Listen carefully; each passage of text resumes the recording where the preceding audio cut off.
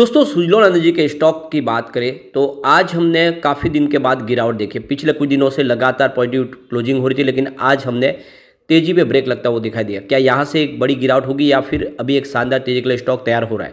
तो यहाँ पे कुछ बड़ी अपडेट निकल के आ रही है, जिनको एक एक करके डिस्कस करने वाले। सुजलोन एनर्जी जो विंड एनर्जी सेक्टर की इंडिया की लीडर कंपनी है नंबर वन कंपनी है, और सोलर प्रोजेक्ट भी कंपनी कर रही है। अब आप देख ही सकते हो कि कंपनी ने बहुत कुछ अचीव किया। कंपनी ने अपने गिरवी शेयरों को छुड़ा लिया मैनेजमेंट ने। साथ में अगर आप देखें तो जो सबसे बड़ी बात है कि कंपनी ने अपने कर्ज के जंजाल से बाहर निकल चुकी है कंपनी डेट फ्री हो चुकी है। ऐसे में क्या आने वाले समय, यह एक बड़ा मल्टीबैगर बन सकता है, समझने की कोशिश करेंगे इस वीडियो के माध्यम से। लेकिन फ्रेंड उससे पहले, अगर आप पहली बार हमारे चैनल पे आए तो चैनल को सब्सक्राइब कर दीजिए। एक बेल आइकॉन दबा दीजिए, ताकि जब भी नया वीडियो बने, पहला नोटिफिकेशन आपको मिले वीडियो पसंद आए तो लाइक से ज़रूर कीजिए। चलो फ्रेंड्स वीडियो स्टार्ट करते हैं। मैं हूँ आपका दोस्त एस बी दवे और हमारे अपने चैनल ऑनलाइन कमाई में आपका बहुत बहुत स्वागत है। तो सबसे पहले बाज़ार की बात कर ले तो आज B S C sensex seventy one thousand seven hundred thirty one के स्तर पे क्लोजिंग दिया जहाँ पे three hundred fifty four point की गिरावट थी। यानी पॉइंट फोर नाइन परसेंट गिरा बाज़ार, आधा परसेंट की गिरावट थी आज बाज़ार में। सुबह शुरुआत तो पॉजिटिव हुई थी, लेकिन बाज़ार आ गया दबाव में। प्रॉफिट बुकिंग की वजह से हमने गिरावट देखी है। और इसका नतीजा हमने सुजलॉन में भी देखा, यहाँ पर भी प्रॉफिट बुकिंग आ गई।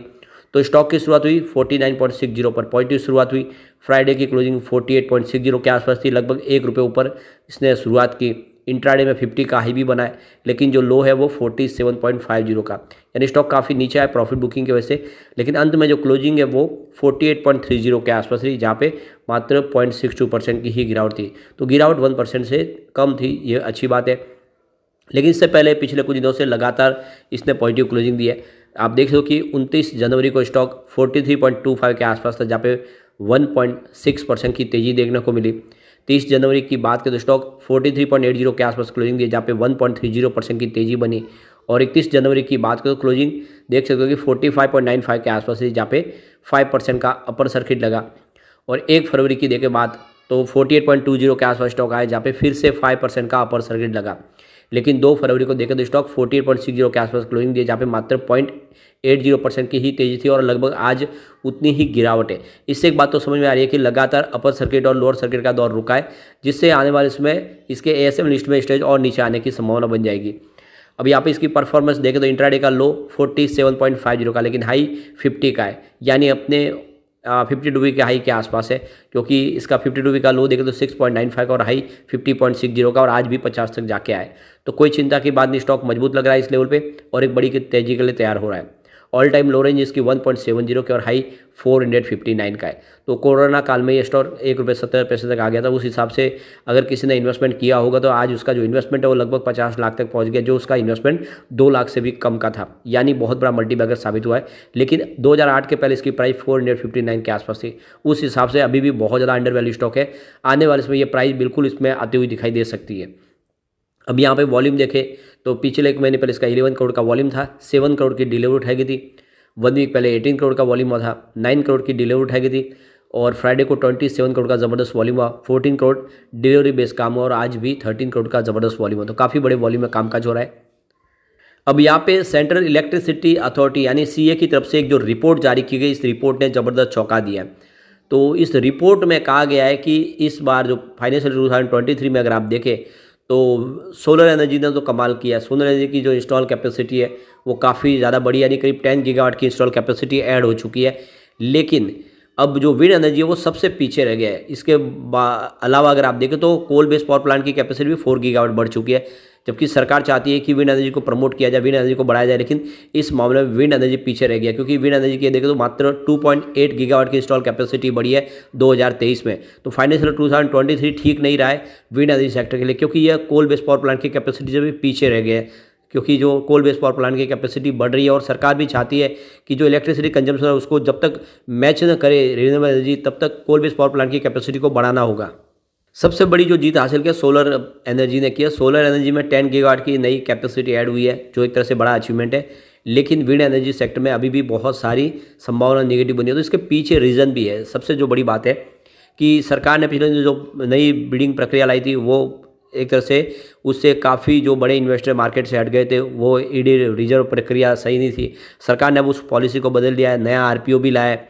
साथ में कुछ इंसेंटिव भी शामिल किए गए हैं। ऐसे में आने वाले समय इसमें एक तेज़ी की संभावना बनेगी और सरकार नए भीड़ भी लेके आ रही है तमिलनाडु, गुजरात में, उसका फ़ायदा भी देखने को मिलेगा। लेकिन जो सबसे बड़ी प्रॉब्लम यहाँ पे आ रही है कि जो इलेक्ट्रिसिटी कंजम्पशन बढ़ रहा है, जिसका अनुमान लगाया गया है, वो बहुत ज़्यादा है। और इस वजह से जो इंटरनेशनल एनर्जी अथॉरिटी ने जो जो रिपोर्ट जारी की उसमें कहा गया है कि आने वाले समय में थर्मल पावर प्लांट की कैपेसिटी में भी 80 गीगावाट की और एडिशनल कैपेसिटी को ऐड करना होगा, यानी 80 गीगावाट कैपेसिटी और बढ़ानी होगी। उसके पीछे वजह इलेक्ट्रिसिटी कंजम्पशन इस समय भी देखें तो जो टोटल इलेक्ट्रिसिटी कंजम्पशन है, उसमें 74 परसेंट योगदान अकेला थर्मल पावर प्लांट कैपेसिटी का है। और इस वजह से देखें तो योगदान बहुत कम है। अभी फ़िलहाल देखें तो सोलर और विंड एनर्जी का जो योगदान है, वो काफ़ी कम है। तो एक तरह से देखें तो इस सेक्टर के लिए चिंताजनक बात है कि आप देख सकते हो कि विंड एनर्जी सेक्टर में इतनी इंस्टॉल कैपेसिटी नहीं पाई गई है। लेकिन सुजलॉन एनर्जी खुद अपने लेवल पे देखें तो काफ़ी अच्छा अचीव कर रही है। दूसरी कंपनियाँ इसमें इतनी पीछे है, लेकिन सुजलॉन एनर्जी का कारोबार काफ़ी तेज़ी से बढ़ रहा है। एक बड़ी अपडेट है जो तमिलनाडु से निकल के आ रही है। तमिलनाडु ग्रीन एनर्जी सेक्टर में बहुत बड़ा रिवोल्यूशन लाने जा रहे हैं। वो वहाँ की जो सरकार है, वो अब चाहती है कि आने वाले समय जो भी बिजली का इस्तेमाल हो, वो ग्रीन एनर्जी के माध्यम से हो और इसीलिए इन्होंने बड़ा फैसला किया यहाँ पे। ग्रीन एनर्जी के लिए एक नई इन्होंने एंटिटीज बनाई है, जो रिप्लेस करेगी यहाँ पे देखोगे T N G D C O और टी ए डी ए ये दो कंपनी है, उसको रिप्लेस करेगी। तो तमिलनाडु सरकार इस समय ग्रीन एनर्जी को फुल प्रमोट कर रही है। उनके हिसाब से आने वाले समय में जो भी उनके लिए बिजली का इस्तेमाल हो रहा है, वो ग्रीन एनर्जी के माध्यम से हो।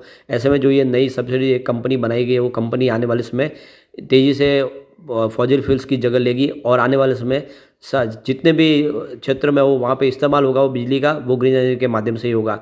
यानी बहुत सारी अपॉर्चुनिटी तमिलनाडु से निकल गया और तमिलनाडु के पास वो सारा पोटेंशियल भी है कि विंड एनर्जी सेक्टर में भी वहाँ पे निवेश की संभावना तलाशी जा सकती है। काफ़ी बढ़िया उनके पास एरिया है। ऐसे में आने वाले समय सुजलॉन के लिए भी मौके हैं, और ये जिस तरह से फैसले लिए जा रहे हैं अलग अलग स्टेट के हिसाब से क्लीन एनर्जी को प्रमोट करने के लिए उसका फ़ायदा सुजलॉन को देखने को मिल सकता है। अब सुजलॉन एनर्जी को देखें तो यहाँ पे टीवी एटीन पे जो सी एन बी सी आवाज़ कार्यक्रम के ऊपर अगर आप देखें तो उनके mark, market expert Sarvendra Jain का कहना है कि स्टॉक 30 से पैंतीस रुपये तक बहुत समय रहेगा 10 से 12 साल लग गए इस लेवल को पार करने में, लेकिन अब इस लेवल पे आ चुका है और यहाँ पे टिक चुका है तो जल्दी यहाँ पे एक अच्छी ओवरऑल सेटअप ठीक लग रहा है और ये हंड्रेड तक जा सकता है। पर कब तक जाएगा इस, ये कहना मुश्किल है, लेकिन हंड्रेड जाने की संभावना बन चुकी है अब तो इसमें स्टॉप लॉस लगा के आप इसमें खरीदारी करके बने रहे। दूसरी तरफ़ देखें तो चॉइस ब्रोकिंग के सुमित बगड़िया भी इसमें खरीदारी की सलाह दे रहे वो फोर्टी का स्टॉप लॉस लगाने के लिए उन्होंने कहा है और 55 का पहला टारगेट और 60 का सेकंड टारगेट देखने को मिल सकता है। तो कुल मिलाकर ओवरऑल खरीदारी की सलाह बन रही है। अब यहाँ पे कुछ बड़ी डील की तरफ़ चलते हैं। तो यहाँ पे सुबह सुबह आप देख सकते हो कि नौ बजकर सोलह मिनट पर forty nine point six zero की प्राइस से फाइव लैख नाइन्टी थाउज़ेंड शेयरों की एक बड़ी खरीदारी हुई। फिर उसी समय नौ बजकर सोलह मिनट पर forty nine point six five की प्राइस से nine lakh forty five thousand शेयरों की एक बड़ी खरीदारी और हुई। फिर नौ बजकर तीस मिनट पर फिफ्टी की प्राइस से नाइन लैख थर्टी थाउज़ेंड शेयरों की एक बड़ी खरीदारी और हुई। तो उसके बाद नौ बजकर पैंतीस मिनट पर forty nine point five zero की प्राइस है। यहाँ पे देख सकते हो कि करीब फाइव लाख थ्री थाउज़ेंड शेयरों की एक बिकवाली हुई। उसके बाद दस बजकर उनतीस मिनट पर forty nine point one zero की प्राइस है। Eleven lakh sixty five thousand शेयरों की एक शानदार खरीदारी हुई। तो फिर दस बजकर बत्तीस मिनट पर forty eight point eight five की प्राइस है। Five lakh sixty one thousand शेयरों की प्रॉफिट बुकिंग हुई और फिर दस बजकर तैंतीस मिनट पर forty eight point seven zero की प्राइस है। Five lakh eighty seven thousand शेयरों की एक बिकवाली और हुई। लेकिन उसके बाद दस बजकर चौपन मिनट पर forty nine point one zero की प्राइस है। सेवन लैख एटी थाउज़ेंड शेयरों की एक बड़ी खरीदारी हुई। फिर ग्यारह बजकर बारह मिनट पर forty nine point one five की प्राइस से five lakh fifty one thousand शेयरों की बड़ी खरीदारी और हुई। उसके बाद बारह बजकर पचास मिनट पर forty nine point one zero की प्राइस से six lakh twenty two thousand शेयरों की बिकवाली हुई। फिर एक बजकर चौवालीस मिनट पर forty eight point nine zero की प्राइस है। फाइव लाख फोर्टी थाउज़ेंड शेयरों की बिकवाली और हुई। तो फिर देख लो कि दो बजकर अड़तीस मिनट पर forty eight point four five की प्राइस से seventeen lakh fifty five thousand शेयरों की फिर से एक बिकवाली हुई। फिर दो बजकर छप्पन मिनट पर forty seven point eight zero की प्राइस से five lakh forty six thousand शेयरों की एक बिकवाली और हुई। तो दिन में काफ़ी अच्छी खरीदारी हुई थी, लेकिन बाज़ार क्लोज होने के समय जिस तरह से बड़े फंड हाउस की बिकवाली हुई, इससे यहाँ पे स्टॉक के अंदर गिरावट हो गई। बाकी ओवरऑल देखें तो प्रदर्शन अच्छा है। अभी भी बड़े फंड हाउस यहाँ पे जम के खरीदारी भी कर रहे हैं। यहाँ पे कम्युनिटी सेंटर भी स्टॉक के साथ बना हुआ है। एट्टी थ्री परसेंट बाई की कॉल है सेवनटीन परसेंट सेल की कॉल है। यानी हंड्रेड में से एटी थ्री परसेंट लोग इसको लेना पसंद करें। लोगों का रुझान काफ़ी पॉजिटिव बना हुआ है, ऐसे में डरने की कोई बात नहीं। एक बार पीवोट लेवल को चेक कर लेते हैं। यहाँ से अगर गिरावट होती है तो फोर्टी थ्री का पहला सपोर्ट है। ये टूटा तो थर्टी नाइन तक स्टॉक जा सकता है। गिरावट बड़ी हुई तो थर्टी फाइव तक जाने की संभावना है। ये तभी पॉसिबल है जब बाज़ार में भरी गिरावट हो। पॉजिटिव माहौल बना तो फिफ्टी वन का फ़र्स्ट रजिस्टेंस है।